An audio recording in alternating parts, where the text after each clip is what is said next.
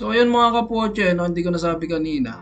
So, may bagong tools nga pala itong si PBU, Plant versus Undead, no? So, ayan, meron tayong sunflower na ngayon, no? Ito, sunflower sampling. So, 100 LE siya. Duration niya 3 days. A, tempor- ah, yeah. a temporary plant that gives 250 LE, 72 hours is not affected by weather events and cannot drop seed. So, makakapag-produce siya ng 250 LE sa loob ng tatlong araw. So, ang presyo niya is 100 LE. So, meaning to say, 100, 250, so meron kang 150 LE nakita sa kanya sa loob ng tatlong araw. Di ba? So, eto naman, Sunflower Mama. Duration niya is 6 days. So, a temporary mother tree that gives 850 LE sa loob ng 144 hours. So, ibig sabihin 6 days to. So, ayan.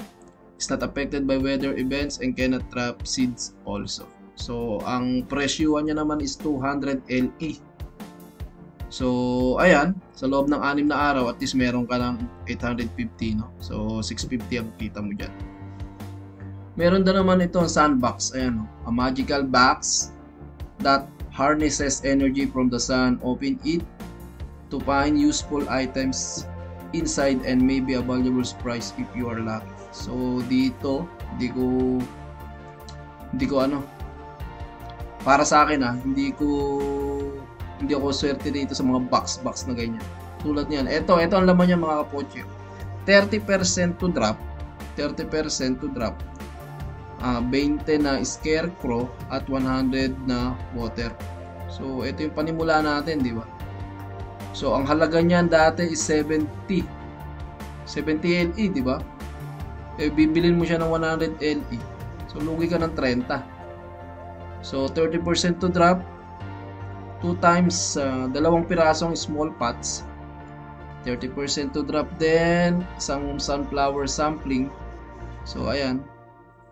So 9.9% isang sunflower mama. Ito kahit pa paano meron ka rin ito. So sabi ko nga, gaya ko nga kanina, sunflower sampling, ito, kapag naka 100 kayo nito mga kapoche, pwede nyo iswap sa isang seed. 100 ah, 100 piraso.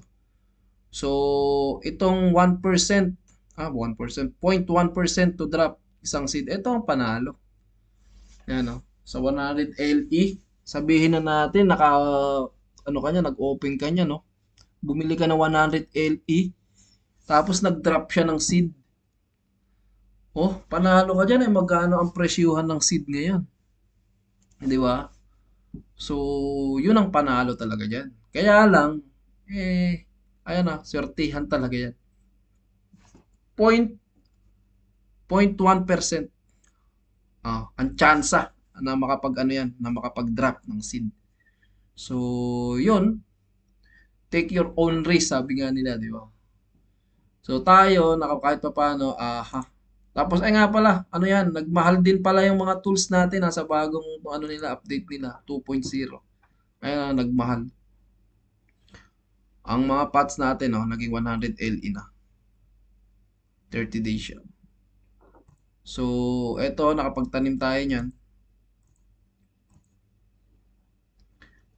Ito nga pala, kapag nakabili kayo ng ano, ng sunflower mama mga kapoche, gagawin nyo, kapag nakabili kayo niyan sa kalan nito, kulay brown yan eh. Dapat yan, diligan nyo ng dalawang beses para maging kulay green. Yan. Diba? So, ayan na, diniligan ko siya ng dalawang beses. Oh. Kaya naging kulay green siya. Okay. So, 15 out of 15. Ayan, nakuha na natin yung LE kanina which is 50. So, nakita nyo naman kanina sa video kanina, no? So, itong sunflower sampling dapat maka 100 kayo para ma-change natin sa isang seed. So, yun lamang mga kapoche, update sa ano, dito sa nilalaro nating plant versus undead. So, magkano ba ang PBU ngayon? PBU halaga ng PB yung ngayon, ano eh. Eh no, 780 ang isa. 780. So, ayun. Tiyagaan lang talaga mga kapoche. Awa ng Diyos eh. Nakapasok tayo rito kanina. So, hintayin nyo lang yung ano nyo.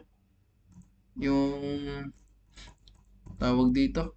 Kailan kayo makakapasok. Tiyagaan lang talaga since na bago, bago pa lang to, di ba? So, ayun. Hanggang dito na lamang. Salamat, salamat sa panonood mga kapoche. Hanggang sa muling pag-update natin dito sa ating laro na, nilalaro na to. So, ayun. Paalam.